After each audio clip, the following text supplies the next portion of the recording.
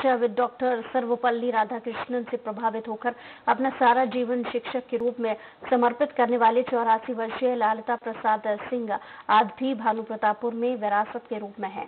उनका पूरा परिवार शिक्षा जगत में शिक्षा की अलख जगा रहा है। सन 1956 में बनारस विश्वविद्यालय से संस्कृत में एमए की उपाधि स्वयं डॉक्टर राधाकृष्णन ने उन्हें अपने हाथों से प्रदान की थी और उस वक्त राधाकृष्णन के वक्तव्य से सिंह इतने प्रभावित हुए थे, उन्होंने शिक्षक बनना ही अपना लक्ष्य बना लिया था और एक शिक्षक के रूप में इकतीस साल की पारी खेली। इतना ही नहीं, उनके तीन बच्चे और तीन भतीजे और बहू भी शिक्षा के क्षेत्र में ही योगदान दे रहे हैं। इस उम्र में भी वे बिना चश्मे के पढ़ते हैं और वाहन भी चलाते हैं। अपना अधिकतर जीवन उन्होंने पैदल और साइकिल पर ही सादगी से बिताया है। वे उस जमाने को भी याद करते हैं जब उनके स्कूल पैदल चलकर समय पर पहुँचना होता था और इसे एक शिक्षक के लिए चुनौतीपूर्ण माना जाता था।